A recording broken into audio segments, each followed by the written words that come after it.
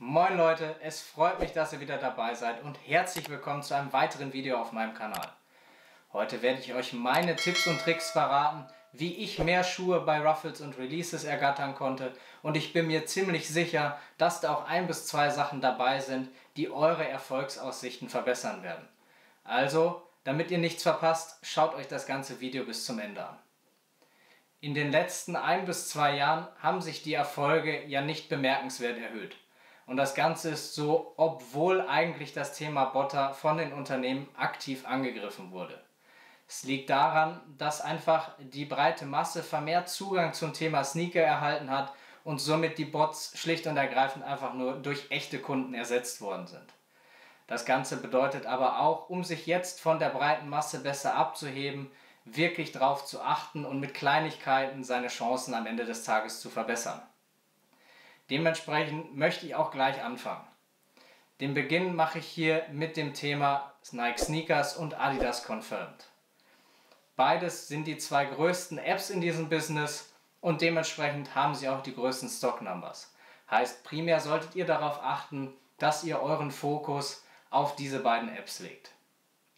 Grundlegend gibt es hierbei aber ein paar Sachen zu beachten und ihr könnt hier eure Chancen deutlich verbessern. Anfangen möchte ich hier erstmal mit der Basis. Denn beide Apps basieren auf einem Algorithmus.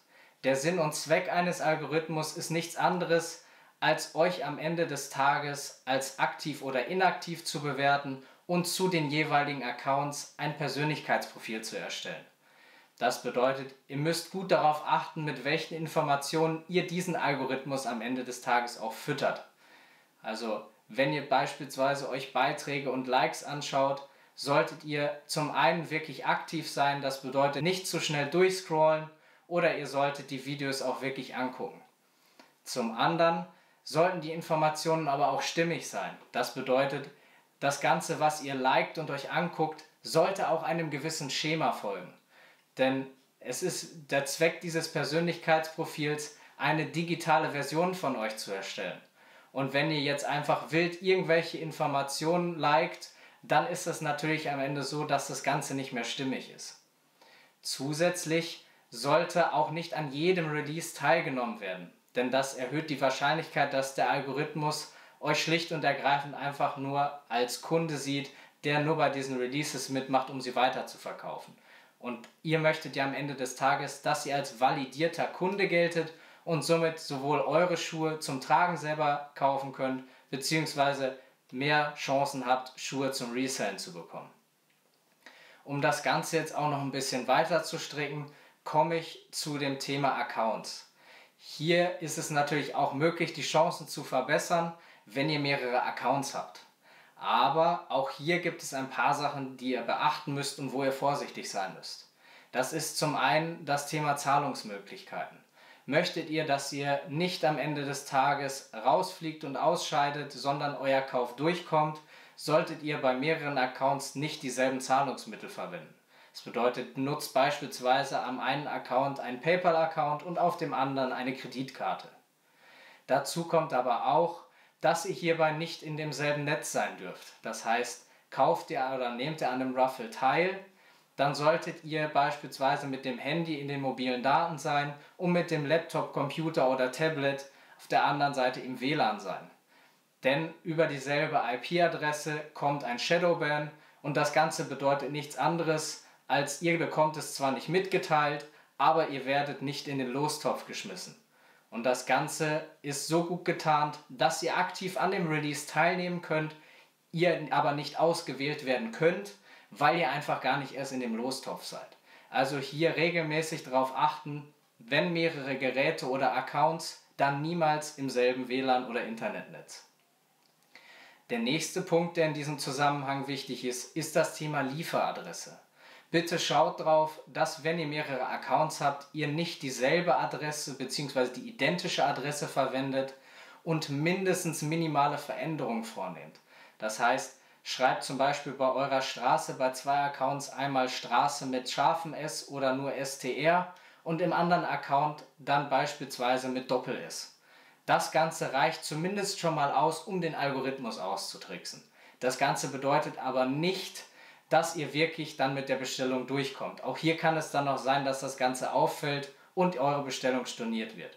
Also im Idealfall habt ihr vielleicht noch eine Adresse oder einen anderen Namen, an den ihr das schicken könnt, wie beispielsweise den Wohnsitz eurer Eltern. Und hierdurch ist die Wahrscheinlichkeit dann minimiert, dass ihr auffliegt. Geht man da bei dem ganzen Thema jetzt noch weiter, dann haben wir nicht nur das Thema mehrere Accounts, sondern auch noch das Thema Käufe. Denn ich konnte feststellen, dass ich sowohl bei Adidas als auch bei Sneakers mehr Erfolge erzielen konnte, als ich wirklich Produkte dann bei beiden Marken gekauft habe. Sei es jetzt normales Sportequipment oder normale Sneaker. Beides fließt, so wie ich vermute, am Ende des Tages zusammen und bedeutet, dass ihr ein valider Kunde seid und ihr kriegt dadurch bessere Chancen bei Ruffles und Releases. Bei Adidas muss ich dazu sagen, dass das Ganze wirklich gut gelöst worden ist, denn hier gibt es einen Pass, bei dem ihr mit jedem Kauf Bonuspunkte bekommt. Ihr steigt im Laufe der Zeit ein paar Level auf und mit den aufgestiegenen Leveln habt ihr höhere Chancen, euren Schuh der Wahl zu bekommen. Bei Nike ist es leider nicht so, da kriegt man keinen Nachweis und man weiß es nachweislich nicht. Heißt, hier ist das Ganze nur eine Annahme, aber es wäre stimmig, weil so war es zumindest bei mir. Zusätzlich wichtig ist, dass hier der Zusammenhang zwischen den Apps erkannt wird. Das bedeutet zwischen Adidas Confirmed und Adidas sowie Nike Sneakers und Nike. Denn ich habe angefangen bei Nike aktiver in der normalen App zu agieren und auch hier konnte ich direkt einen Unterschied feststellen. Ich habe, seitdem ich angefangen habe, wirklich mich auch aktiv auf der Nike-App zu bewegen und dort Beiträge zu liken, als Favoriten zu markieren oder Produkte zu kaufen, mehr Exclusive Access bekommen und auch mehr Schuhe bei den normalen Releases bekommen. Auch das könnte also ein Weg sein, wie ihr eure Chancen verbessern könnt. Aber neben diesen zwei großen Quellen gibt es natürlich auch noch viele kleinere. Um nur einige Beispiele zu nennen, gibt es hier Footlocker, Snipes, JD, Asphalt Gold oder Soulbox. Auch hier habe ich noch ein paar kleine Tipps und Tricks für euch. Grundlegend ist es so, dass ich zum Beispiel davon abrate, bei Footlocker Drops mitzumachen.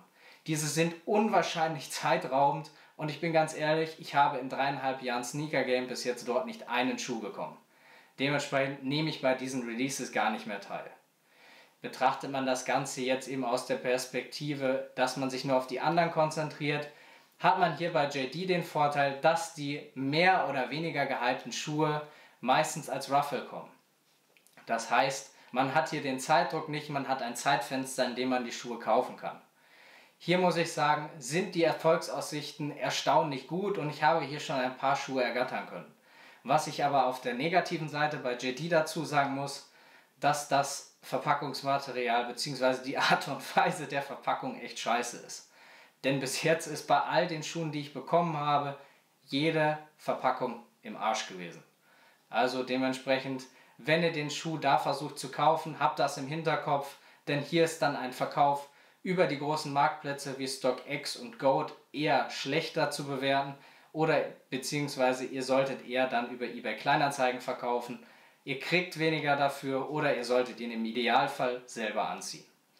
Zwei weitere Optionen sind dementsprechend hier dann noch Snipes und Soulbox. Jetzt möchte ich erstmal auf Snipes eingehen. Hier ist es so, dass die Schuhe um bestimmte Uhrzeiten, genauer gesagt meistens um 9 Uhr droppen. Hier sind die Aussichten nicht sonderlich gut, aber auch hier konnte ich schon ein paar Schuhe bekommen.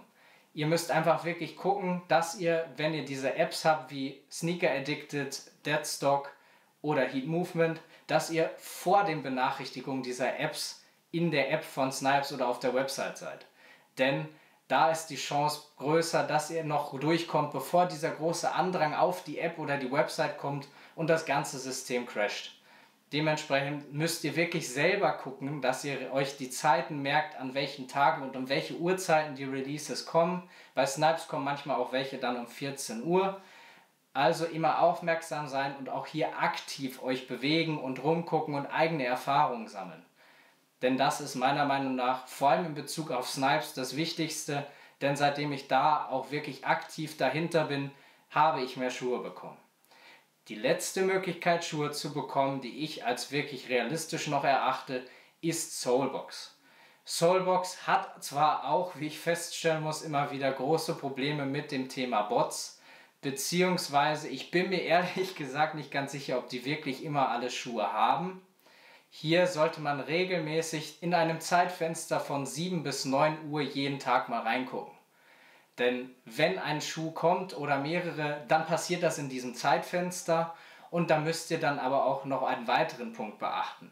Denn bei Soulbox gibt es diesen Punkt, wo ihr beim Auschecken gedrückt halten müsst, beispielsweise auf dem Handy.